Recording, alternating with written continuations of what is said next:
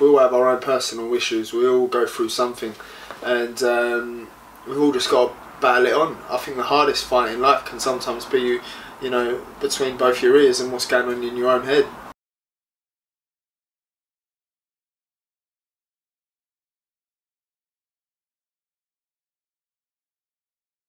The biggest challenge I've had to face um, in my life would probably be um, moving away from my family uh, 24 hours away. That'll probably be the biggest challenge that I've had to face. And even to this day, I struggle to deal with. As it's what what do you value more, family, or the luxuries of life of me being here in England and, and pursuing my career. Um, and I think that's what drives me is knowing that I've made that sacrifice, the biggest sacrifice I could make, and it's the biggest challenge to still to this day that I deal with. I have my ups and downs, waking up missing my family, but that just throws fuel to the fire and makes me want to um, make sure that this time that I've spent here I use well and make the most of it. God, I've only got a short boxing career, and it will all pay off. So day-to-day challenges as well that I face. Everybody faces different day-to-day challenges. Everyone's um, challenges, some harder than others, um, but it's all relevant to the person.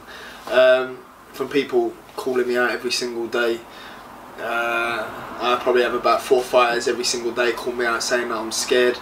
It's frustrating, uh, it's annoying, um, but you just got to let them do what they got to do, and, and that's how I choose to approach that. Is we got to stay in our lane, and me and my team are so focused on me and what's best for me, and and the goals we're going to reach and how we're going to get there. I'm with the best promoter in the game. His job is to make me millions, and my job is to fight good fighters, fight the right fights at the right time. And my trainer, I've got the best team in the world.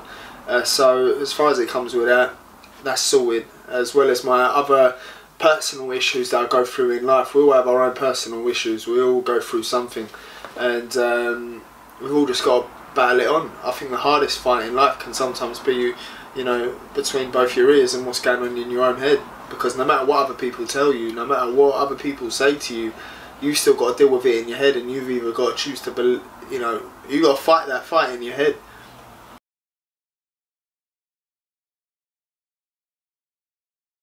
Uh, it's all down to perspective and how you choose to look at things. I mean, after my second fight um, in Glasgow, I went back to the change room. Bournemouth has a terrible performance. I also then, in my sixth fight, um, when I fought Ross Jameson in Manchester, I thought, God, it should have been an easy fight, and that was, I made that an hard night's work. Um, and then after my Peynaud fight, uh, where I got hit the canvas twice in the first round, got up to win and put him down twice in the last two rounds. It's all character building. It's all you can either let it defeat you, let the fear um, capture you. And fear is such a strong thing; it can paralyze anybody. Um, fear is false, in my opinion. As I have it written here, fear is a lie. Um, false, uh, fear is false evidence appearing real. Um, we often fear things that may not come, fear things that may stop us from achieving what we want to achieve, and I think you just got to stay uh, focused on the course and and the plan, and don't let anything distract you. And whatever your vision is, whatever you have that fuel, that fire for, you go for that. Don't let no fear get in the way of it. Which is easier easier said than done because I still to this day have fear everything I do for example, um, at 19 years old to walk out to 20,000 at the O2 with no amateur background. Telling you, fear would have kept me from doing that. And it's fear in everything you do. When you put yourself out of the comfort zone, you just got to remind yourself, trust the process. I fight fear every single day um, with my thoughts, my choices, and it may not seem it, but everybody has fear of something, whatever that fear is. Um, I'm not talking fear of spiders, or I'm talking general fears, life fears, worries, concerns. Um, worrying about tomorrow, it doesn't take away tomorrow's problems, it just takes away today's peace. And it's so important. You need to make sure you can be amongst the craziness, amongst the madness, but you've got to try and find peace within yourself. And that'll often come from people you have around you. Fear can cripple you. Fear can cause anxiety, depression. Fear can you just need to sometimes switch off the news if that's things you worry about, and let fear be your fire, your fuel.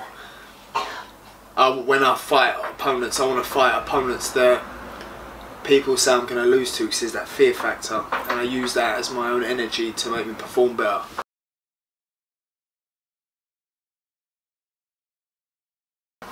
How do I approach fear, worries, concerns, doubts, negative mindset? Um, I make sure I reset, and you can program your brain. You can change your way of thinking um, from, like, I think, quite negatively. You know, I'm that person that uh, thinks negatively about everything or worry about so many things in in life. Um, and sometimes you just got to change your process. You got to change your mind. You got to program it, change your way of thinking. And I find I make training my therapy. Long runs, um, boxing, uh, praying. I pray a lot. Uh, that brings me peace. Um, find what works for you, and it's so important to have a clear mind. Uh, the biggest danger caused by fear, I would say, is people fearing to set the bar high, people fearing to chase after their dreams, and nine times out of ten, it's projection of fear from somebody else or somebody else's concern or worry that then places worry on you. Um, some, for example, some people's parents uh, may be worried about their children um, with their dreams or their goals that they're so big that it's like, come on, that's you know, it's so silly, you're gonna waste or things like that. Um, from young, and then just being the fear capturing you of what if it fails? What do I do then? Listen, we've all got to take risks, calculated risks, of course, but the best ideas are in the graveyard. Um, people, people, you can't let fear cripple you. You can't let fear worry you. If you really believe um, you can do something and achieve it, mark my words, you can.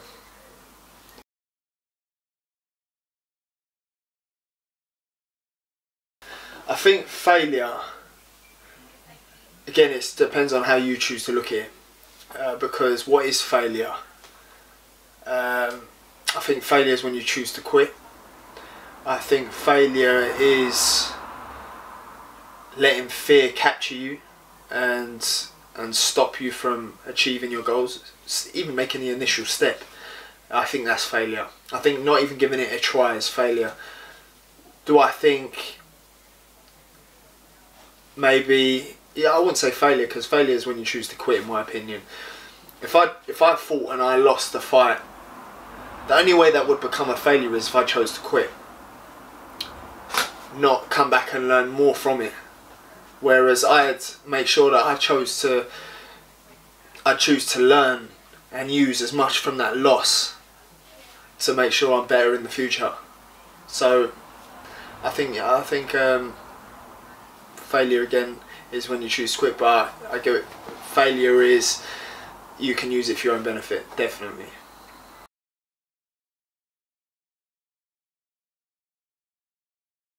I think you've got to be in very, loads of uncomfortable situations.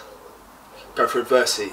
Go for, I think, experience of um, overcoming fear, overcoming worry, um, having major um, setbacks, and coming through and persevering and keep moving forward keep your feet keep moving just keep it moving. Um, I think you'll then look back. Maybe day you may not see change but then you may look back six months you may look back a year and be like wow how much I've changed. And through going through all these things you will naturally grow and you you just become stronger in your dream and your vision and what you want to achieve. So when you go through adversity you'll come through the other side. It all just depends on how you choose to use that to, to make you better for next time you hit a hurdle. Although I guess when I was younger, um, about my mindset and growth, I always, for me, it was my parents who set the bar high for me. Um, so I'm here, the but the bar's still. I wouldn't be able to show where I would need to be for me to reach anywhere near the growth my parents had and the vision they had. Um, I think everything you've got to have a vision for in life, and I don't know. I had a vision from young. Um, did I think I'd accomplish it so much so soon? No. but I knew eventually I would have got there. And because of my mindset, my work ethic, the way I chose the thing, anything I would have chosen to have done, anything, I know that I would have smashed it. I know that I would have, whatever I chose to do have turned into gold. And that's because of the mindset, the work ethic, the dedication, perseverance, um, all these qualities you need to fulfill the growth.